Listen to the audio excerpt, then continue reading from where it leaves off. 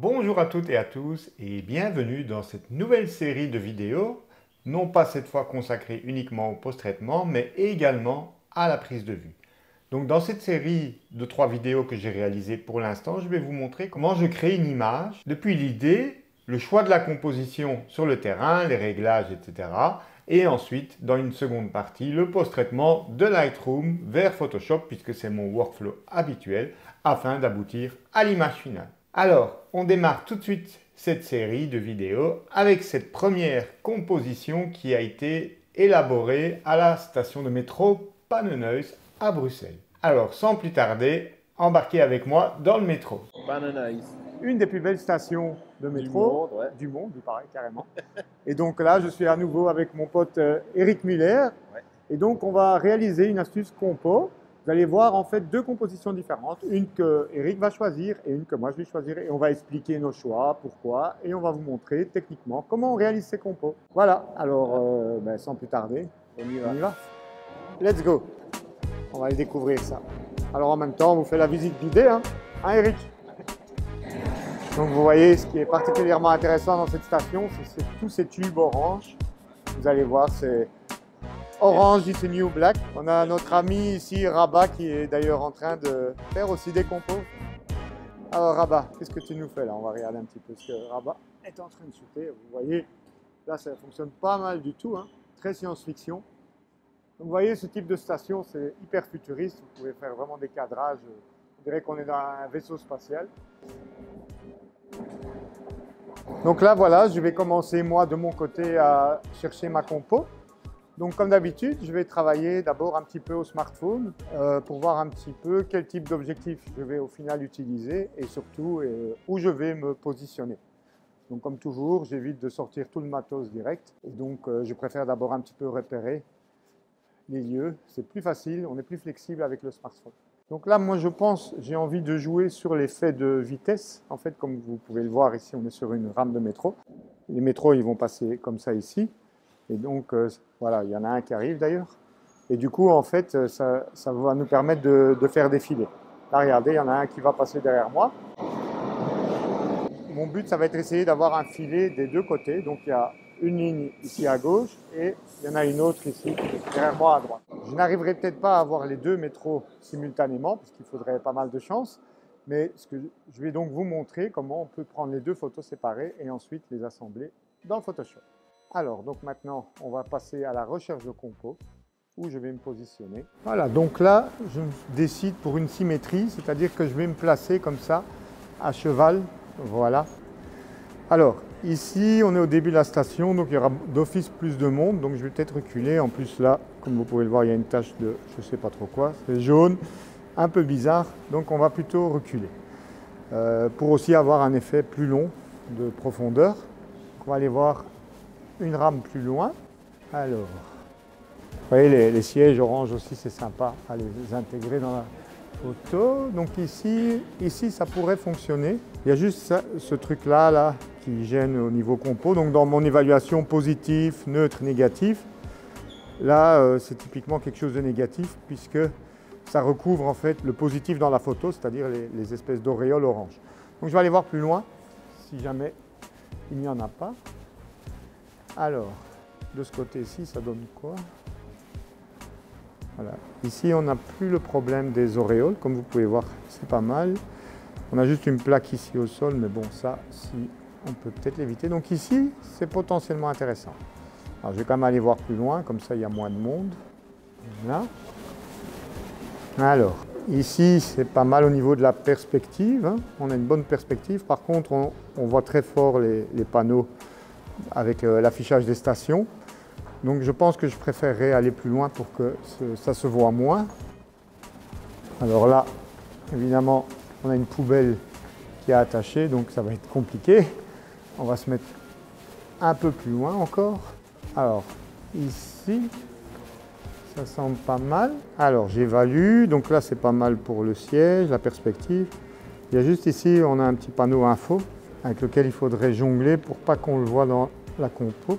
Comme j'aimerais bien inclure en fait le haut des auréoles ici, que je trouve sympa, donc euh, il y a une superposition ici.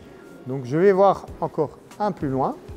Donc là, Ici, au niveau de la poubelle, on va se retourner dans l'autre sens. Ah, voilà. Vous voyez qu'ici, j'ai la même scène, j'ai juste juste les sièges qui sont cette fois de l'autre côté, mais vous voyez que là, les panneaux blancs sont minimisés et j'ai pas vraiment de superposition très gênante. Elle est beaucoup moins gênante ici. Donc on va euh, shooter ici. Donc voilà, là j'ai trouvé l'endroit qui pour moi me semble le plus adéquat pour euh, cette composition.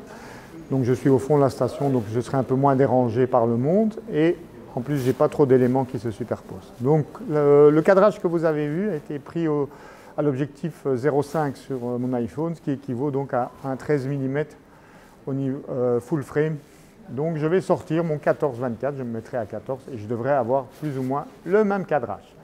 Donc on sort le matos et on tente tout ça.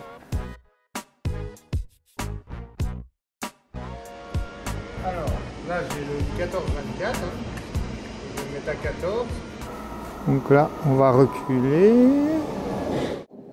Donc là je vais afficher mon quadrillage qui me permettra plus facilement d'aligner les éléments ici, puisque comme vous le voyez, je tente une symétrie et que donc, par défaut, une symétrie se doit d'être parfaite. Donc là, j'enlève deux secondes les infos. Ça me semble pas mal. Donc je vais vérifier en fait ici que les lignes partent bien du même coin. je pense que je ne suis pas tout à fait au centre. Voilà. Ok, là ça m'a l'air mieux. Alors je vais peut-être incliner un petit peu comme ceci vers le haut. Alors c'est dommage, ici en haut, il y a une caméra, donc ça coupe un peu le bord du cercle. Mais bon, je travaillerai ça en post-traitement parce que là, je n'ai pas trouvé de meilleur endroit. Donc là, je check. Alors, regarde, il faut surtout surveiller les coins. Là, c'est bon. On a presque le bout jaune qui touche. Et là, on a presque le bout jaune qui touche. Donc là, on est pas mal. Je vérifie bien l'alignement ici au centre. Donc comme j'ai mon quadrillage affiché, je peux voir la ligne. Donc là, ça me semble bon. Je peux même me permettre de redescendre un chouïa pour être moins en contre-plongée. Alors je vérifie par la même occasion que je suis de niveau. Voilà, vous voyez que je ne l'étais pas parfaitement. Voilà, là on est bon. Donc une fois que vous avez trouvé tout ça, vous verrouillez, absolument bien tout pour éviter de dérégler par inadvertance. Hein. N'hésitez pas à bien tout serrer. Ok, donc là maintenant, euh, au niveau réglage. Donc là, surtout pas ISO auto. On se met à l'ISO le plus bas, on va fermer. là, on a un premier métro. Donc là, une seconde, c'est pas assez. Je vais fermer à F secondes. Je vais descendre en ISO. Voilà. Comme ça, là, j'ai un long temps de pause. Regardez, je déclenche. Hop. Idéalement, j'aurais dû mettre le retardateur, mais comme il est là, j'agis. Voilà, vous voyez que là, j'ai déjà j'ai réussi un chouette filet. Alors maintenant, je vais en profiter pour vite mettre le retardateur. C'est quand même mieux. Ou utiliser une télécommande. Voilà. Donc là, je vais le prendre quand il repart, en fait. Voilà, là, il va repartir. Alors, peut-être 8 secondes, c'est trop. Donc, je vais mettre un petit peu moins. Vite, je rouvre un peu. Voilà. 5 secondes. Hop, retardateur. 1, 2, 3, 4, 5. Voilà. Là, vous voyez, le résultat est pas mal à 5 secondes. Donc là, j'ai un bon filet. Maintenant, il me faut le même filet à gauche. Et idéalement, ce que j'aimerais, en fait, c'est avoir un personnage ici ou ici, éventuellement assis. L'idée, c'est d'avoir un personnage à gauche aussi pour contrebalancer. Vous voyez, dans une symétrie, ici, il y a un petit décalage. Donc ici, regardez, j'ai justement quelqu'un. Donc je vais mettre en ISO auto cette fois. Alors, pas besoin de F16. Voilà, F8, c'est très bien. Et je vais shooter. Voilà. Donc là, j'ai déjà, s'il le fallait, euh, un sujet. Donc là, ce que je vais faire, c'est enlever le retardateur pour pouvoir shooter en rafale. Hop. Voilà, je suis en AF continu. Alors, je suis en ISO auto. Vous voyez évidemment que du coup, les isogrammes très hauts. Donc, ce qu'on peut faire, si on veut éviter ce problème, on peut ouvrir plus, hein, puisqu'en fait, on a juste besoin d'une zone de netteté sur le personnage. Donc là, vous voyez qu'on est déjà à des ISO plus raisonnables. Mais évidemment, maintenant, je n'ai pas de personnage. Au pire, si je n'ai pas de personnage, ce que je peux toujours faire, c'est me mettre moi-même en scène en allant me mettre là et en utilisant la télécommande, la commande à distance, par exemple avec l'application SnapBridge sur le téléphone ou une, tout autre type d'application qui permet de faire de la commande à distance. Alors, on va quand même attendre, on aura peut-être quand même un sujet. Donc l'avantage aussi, c'est qu'en en fait, on voit l'horaire des métros et donc je peux regarder dans combien de temps va arriver le prochain. Donc là, pas de chance, euh, l'affichage du métro n'est pas affiché. Donc là, j'en ai profité, voilà, comme vous pouvez le voir, pour shooter le personnage qui me regardait. On va aller zoomer pour voir s'il est suffisamment net. C'est pas mal, c'est pas tout à fait net. Donc on va essayer d'en attraper un autre hein, qui viendra se positionner ici. Alors je vais enlever l'affichage du quadrillage. Voilà. Comme maintenant je suis certain de ma compo. Comme ça je vois moins d'infos. Je n'ai d'ailleurs pas besoin pour le moment d'afficher tout ça. Donc là il faut être rapide. C'est-à-dire que maintenant typiquement si un personnage je me mets dans ces réglages là. C'est-à-dire euh, euh, grande ouverture. Ah écoutez il y a un métro donc là je rechange. Hop ISO. ISO low et je ferme pour allonger le temps de pause. Vous voyez le temps de pause qui s'allonge. Voilà F16. Hop retardateur, hop. Voilà, pas mal. Je re-shoot jusqu'à l'arrêt. Voilà, et pourquoi pas, même quand il a arrêté. Voilà, hop, et on redéclenche pour son départ. Alors, vous voyez que je, n'hésite pas à varier les ouvertures pour avoir des effets de rendu différents. Hein. Voilà. Là, même qu'il est parti, je vais le shooter. Ça va peut-être faire une traînée intéressante au fond. Là, il est un peu trop fantomatique en fait. Donc, il me faut, apparemment, il me faut quand même 5-6 secondes. Donc là, je re-switch automatiquement sur l'ISO auto. Je rouvre plus fort, puisque là, le but est de capturer donc un sujet. Vous voyez que j'ai une vitesse d'un 250e. Donc là, je suis quasi sûr de figer tout sujet. Alors, éventuellement, si vous voulez qu'il monte moins haut en ISO, vous pouvez toujours vous mettre en manuel. Voilà, parce que vous savez qu'en fait, vous n'avez pas besoin d'une telle vitesse pour figer le sujet. Fait un test, hop. En même temps, on vérifie une fois l'histogramme. On a un léger pic. C'est les, hautes lumières ici. Je m'en occuperai après. Donc là, je n'ai pas de sujet. Il n'y a pas d'autres métros qui arrivent pour le moment. Alors, il y a peut-être un sujet qui s'amène au fond. On va voir. Ce qu'il y a, c'est que quand vous vous positionnez comme ça au fond de la station, ben forcément, il y a moins de gens qui vont jusqu'au fond, mais vous êtes plus tranquille pour travailler. Donc, vous voyez, c'est toujours une, histoire de compromis. Hein. Donc là, j'ai probablement donc, le plan de la station. Là, il y a un métro qui, normalement, doit arriver euh, très prochainement. Voilà. Là, il vient dans l'autre sens. Donc là, je vais me remettre en ISO normal et on ferme rapidement. Alors attention, j'étais en priorité ouverture. Hop, c'est parti. Voilà. Là, on a 6 secondes de pause, donc normalement, on devra avoir un flouté. Ok, voilà, il est à moitié transparent. Donc là, on va refaire la sortie. J'ouvre un peu plus pour avoir un peu moins de filet. J'essaie d'avoir le début. Voilà. Là, j'ai que 3 secondes. Donc ça va laisser un autre type de filet. On regarde, voilà. Voilà. Celui-là est pas mal en fait. Après, euh, c'est au choix. Hein. Du coup, n'hésitez pas à varier donc les temps d'exposition pour avoir différents types de filets, parce que c'est difficile de savoir à l'avance lequel vous allez préférer. Donc euh, là, j'ai fait des très longs, donc où tout est parfaitement lissé, et d'autres où on voit un peu à travers donc, le, mur par transparence. Donc mon souci, je n'ai toujours pas de sujet à ma gauche pour équilibrer ma compo. Donc là, je check un petit peu où j'en suis. Hein. Ok, donc j'ai à droite, j'ai un personnage à gauche sans le métro. Au pire, je pourrais toujours le superposer. Hein.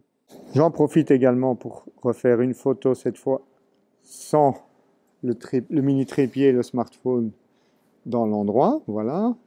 Comme ça, là, j'ai personne dans la composition. Ah, là, j'ai un sujet, justement. Voilà. Ok, donc là, je fais la mise au point sur la chaise. Ouais, c'est pas mal. En fait, là, j'ai quelque chose d'assez intéressant. Vous voyez, parfois, sans faire exprès. Donc là, je vais figer les personnages, je me mets en ISO auto et je fais ma mise au point, clac, clac, clac, clac. Voilà, au moins j'en ai déjà un. Oui, je pense que là, si le, métro arrive maintenant, ça va le faire. On va se préparer pour le passage du métro. Donc là, on enlève l'ISO auto. Voilà, on a 6 secondes. C'est parti, mon petit. si la dame bouge pas, c'est top. On re-shoot.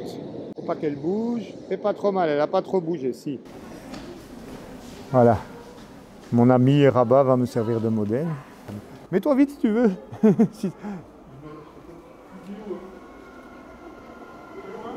euh, avance un peu. Stop, stop. Super. Merci. C'est bon. Ouais, voilà, c'est ça que je voulais aussi. Donc là, ce que je vais faire, je vais utiliser l'application, parce que comme vous le voyez, c'est assez compliqué comme ça euh, d'attendre. Je vérifie que j'ai un filet à gauche, un filet à droite. Voilà, donc là, j'ai ce qu'il me faut au niveau filet. Il me reste plus qu'à aller me positionner. Donc, ce que je vais faire, je vais utiliser l'application de mon smartphone qui me permet donc de contrôler le boîtier à distance. Voilà, donc là je vais ouvrir mon application SnapBridge. Donc euh, pour chaque marque de boîtier, il y a des applications différentes hein, de contrôle à distance. Il faut que je sois allumé, je suppose. Voilà, pour qu'il détecte l'appareil. Donc j'ai choisi prise de vue à distance. Il me demande d'activer le Wi-Fi. En fait, l'appareil émet du coup un réseau Wi-Fi. C'est pas le Wi-Fi du métro. Hein. Et donc là, il va se connecter, si tout va bien, à l'appareil. Et donc, on va voir, voilà, il me propose de rejoindre le Wi-Fi de l'appareil. Et donc là, vous allez avoir l'image qui apparaît donc sur l'écran de votre smartphone. Voilà. OK. Et donc là, maintenant, regardez, si je bouge, vous me voyez apparaître l'écran. Et donc là, je peux déclencher. Hein, voilà. Une erreur s'est produite. Voilà, donc là, l'application tente de se connecter au boîtier. J'espère que cette fois, elle va tenir parce que comme j'ai plusieurs trucs connectés en même temps, du coup, ça crée parfois des erreurs. On va déclencher à distance et là, ça a fonctionné. Donc, dans ce genre de situation, je vais me placer moi-même dans la compo, en fait. Donc là, vous voyez, je peux régler mon boîtier. Je vais fermer un peu plus. Je vais me mettre à F16 pour allonger le temps de pause quand il y aura un métro qui va passer et je vais chercher un endroit adéquat, voilà, pour me placer et attendre donc mon métro. Voilà. Donc là, je fais un petit essai avant que le métro arrive. Voilà. Alors, je vois que quelqu'un passe dans mon dos. Voilà. Donc là, ça fonctionne. Maintenant, il ne vous reste plus qu'à attendre donc euh, un métro passe et vous restez immobile pendant X secondes de, manière à ce que vous ayez une, opposition figée et le filet du, du métro. Donc là, je vais me placer parce qu'il y a un métro qui probablement va arriver d'un moment à l'autre.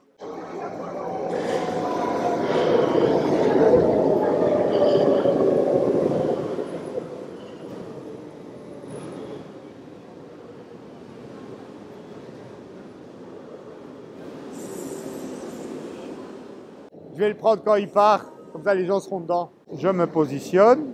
Bon, évidemment, ça manque un peu de réactivité, ces trucs, comme vous pouvez le voir.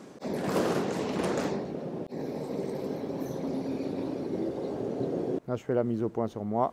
On shoot à distance. Et voilà. Donc là, c'est bon. Donc là, maintenant, on va vérifier qu'on a bien toutes les photos qu'il nous faut. Voilà. Je vais déconnecter l'application SnapBridge puisque je n'en ai plus besoin. Voilà, sinon en fait ça vous empêche de reprendre le contrôle de votre boîtier. Alors je vais profiter parce qu'il y a un sujet qui est venu s'ajouter dans la photo entre temps et qui est pas mal. C'est de moi que tu parles Non, non, c'est la dame. Fameux, fameux sujet. ISO auto. Hop, clac, et voilà, là vous voyez, c'est intéressant. Maintenant, j'aurai un personnage à gauche et à droite. Alors idéalement, ce serait bien de l'avoir en mouvement avec le métro qui arrive. Donc là, je vais un petit peu ouvrir plus pour monter moins en ISO, voilà. Hop, et je shoot en rafale, voilà. Ok. J'entends le métro qui va probablement arriver d'une minute à l'autre. Donc là, j'enlève rapidement l'ISO auto et je ferme donc pour avoir un long temps de pause. Voilà, en espérant que mon sujet, ah malheureusement, elle sort de mon cadre. C'est pas grave.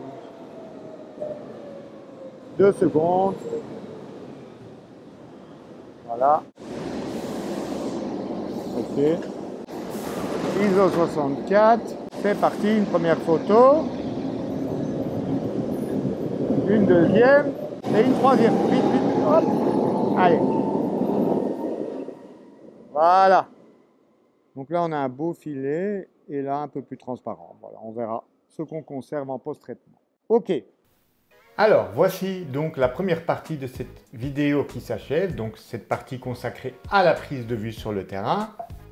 Vous pouvez voir ici à l'écran toutes les prises de vue qui ont été réalisées lors de cette session de shooting. Voilà la dernière rafale et les derniers filets. Voilà. Et donc, dans la vidéo suivante, vous allez voir maintenant comment je trie ces photos dans Lightroom, comment je choisis celles qui vont me servir à élaborer ma composition finale en les post-traitant d'abord dans Lightroom au niveau du format RAW et ensuite dans Photoshop pour procéder à l'assemblage des éléments dont j'ai besoin pour concrétiser ma vision finale de cette image.